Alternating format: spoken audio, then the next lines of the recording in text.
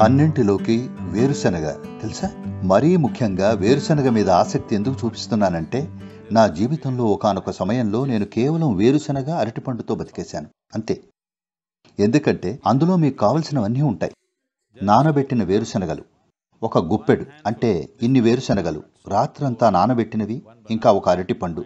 రోజు మొత్తం సరిపోయేవి. నేను క్రియాశీలంగా ఉండేవాడిని చాలామంది ఊహించేదానికన్నా ఎక్కువ క్రియాశీలంగా. మిమ్మల్ని నిలబెట్టడానికి అన్నీ అందులో ఉన్నాయి.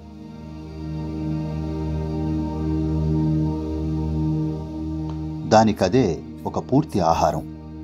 మీరు వాటిని ఆరు నుండి ఎనిమిది గంటలు నానబెడితే అది పిత్త అనేటువంటి దోషాలని తీసేస్తుంది. మీకు పిత్త అంటే ఏమిటో తెలుసా? అల్లోపతి డాక్టర్లు దాన్ని చూడరు. ఆయుర్వేదం దీనిపైన ఆధారపడి ఉంటుంది. ఉష్ణ శీత ఇంకా పిత్త.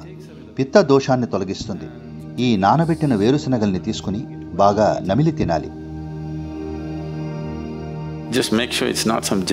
Engineered nonsense, whatever.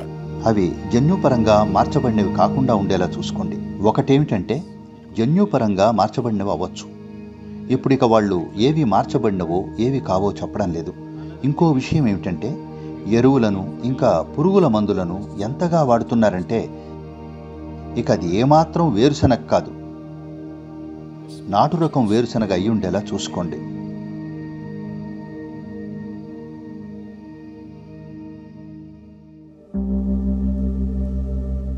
మీకు టిఫిన్ కావాలంటే దాని తయారీ పద్ధతి కావాలంటే ఒక గుప్పెడు వేరుశనగలు తీసుకుని నీటిలో ఆరు నుండి ఎనిమిది గంటలు నానబెట్టండి.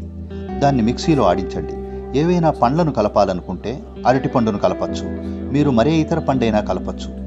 కావాలంటే దానికి కొద్దిగా తేనె కలపండి. రెండు నిమిషాల్లో మీకు అద్భుతమైన టిఫిన్ తయారవుతుంది. దీన్ని చేయడానికి రెండే నిమిషాలు పడుతుంది. మీకు పానీయంలా కావాలంటే కొంచెం ఎక్కువ నీరు కలిపి తాగండి. మీకు జావలా కావాలంటే చిక్కగా చేసుకుని తినండి. సునాయాసంగా అది మిమ్మల్ని నాలుగైదు గంటల పాటు శక్తిమంతంగా ఉంచడాన్ని మీరు చూస్తారు. అలాగే అది ఎన్నో పోషకాలను అందిస్తుంది.